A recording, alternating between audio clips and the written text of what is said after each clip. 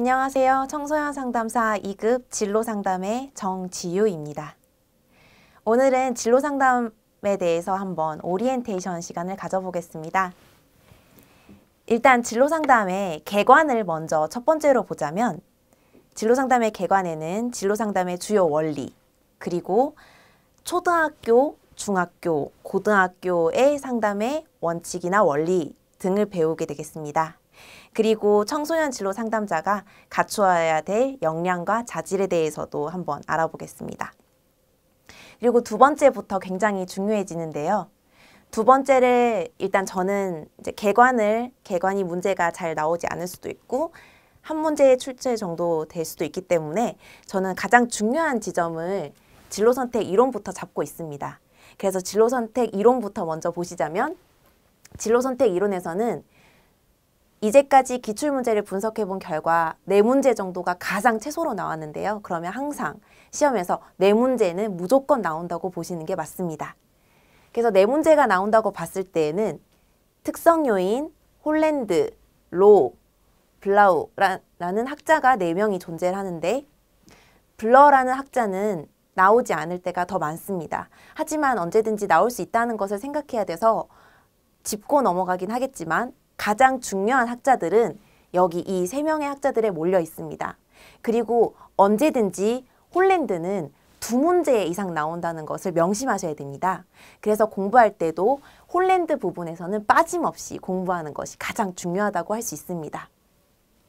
그리고 어, 개관이 첫 번째고 두 번째 진로 선택 이론, 만약에 세 번째 진로 발달 이론을 이제 빅5로 보자면 두 번째로 가장 많이 나오는 부분이기 때문에 제가 2번으로 설정을 했습니다.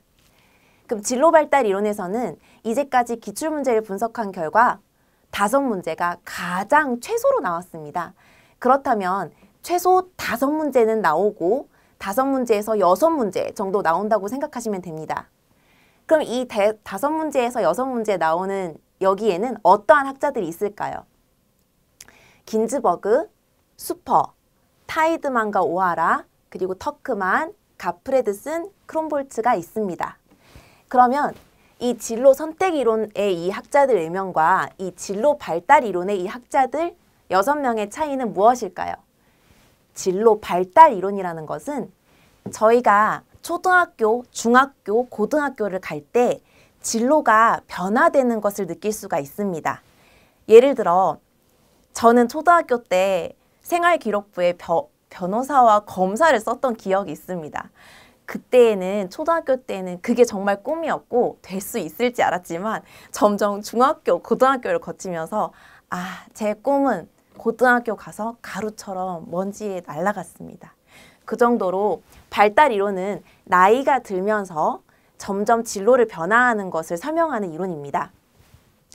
그래서 가장 중요하다고 볼 수 있습니다. 그래서 개관에서 초등학교, 중학교, 고등학교에 대해서 상담이 달라지는 것이기 때문입니다.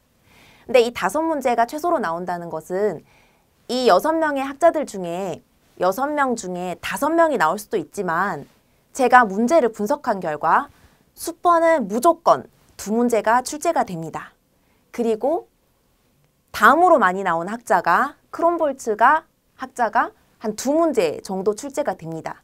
그렇게 되면 다섯 문제가 나왔을 경우에는 수퍼 두 문제, 크롬볼츠 두 문제, 가프레드슨이 나오거나 아니면은 가프레드슨 아니면 긴즈버그 그리고 아니면 타이드만과 오하라 아니면 터크만이 나오는데 제가 방금 말씀드린 순서대로 수퍼가 가장 중요하고 그 다음에 크롬볼츠 그 다음으로 만약에 본다면 가프레드슨 그 다음에 긴즈버그 그 다음 타이드만과 오하라 그리고 터크만의 순서로 학자들이 나옵니다. 최소로 다섯 문제이기 때문에 여섯 문제가 나왔을 경우에는 슈퍼 두 문제, 크롬볼츠 두 문제, 그리고 가프레드슨 한 문제, 긴즈버그 한 문제 이렇게 나오거나 슈퍼 두 문제, 크롬볼츠 두 문제, 타이드만과 오하라 한 문제, 가프레드슨 한 문제 이런 식으로 바꿔서 나오게 됩니다. 그래서 이 부분은 항상 중점적으로 봐야 될 부분입니다. 이 부분에서는 강의에 좀 더 심도 깊게 다루도록 하겠습니다. 그리고 빅5 중에 세 번째로 중요한 것은 진로 의사 결정 이론입니다. 진로, 결, 진로 의사 진로 의사 결정 이론에서는 우리가 진로를 선택할 때 아무리 직업은 천직이라 하더라도 하늘에서 저에게 바로 직업을 넌 이것을 가져라 라고 내려주지 않습니다. 정보도 가지고 오고 상담도 해보고 내가 잘하는 것 무엇인지 분석을 하면서 합리적으로 의사결정을 할 수 있기 때문입니다. 그래서 가장 중요한 것은 하렌의 진로 의사 결정 이론이 가장 중요합니다. 그래서 이 하렌이 주장하는 바는 무엇이며 어떠한 형식과 유형이 있는지 한번 살펴보도록 하겠습니다. 빅5 중에 네 번째로 중요한 것은 다위스와 로프키스트의 직업 적응 이론입니다. 진로를 선택을 하고 직업 생활을 하게 되면 당연히 직업 생활에서 오는 스트레스도 있고 이직을 할 수도 있습니다. 그래서 만약에 18살 이후에 직업을 가지게 되면 직업에 적응하고 이직하는 경우도 있기 때문에 청소년 상담에서 직업 적응 이론을 빠질 수가 없습니다. 그래서 직업 적응 이론에서는 가장 중요한 다위스와 로프키스트의 직업 적응 이론을 한번 살펴보도록 하겠습니다. 빅5 중에 다섯 번째로 중요한 것이 최근 상담 이론의 상담 이론의 최근 경향입니다. 여기서는 두 가지가 가장 중요하게 문제가 출제됩니다. 여기는 평균적으로 두 문제 아니면 세 문제가 출제되도록 합니다. 그러면 첫 번째로는 인지 정보 처리 이론, 두 번째로는 사회 인지적 진로 이론입니다. 인지적 정보 처리 이론 같은 경우에는 이 사람이 진로 결정을 할 때 머리가 컴퓨터적으로 분석을 해서 진로를 결정하게 된다는 것을 말합니다. 그래서 인간이 머리를 정, 컴퓨터로 정보 처리를 해서 직업을 결정한다는 설명을 하고 있습니다. 두 번째로는 사회인지적 진로 이론입니다.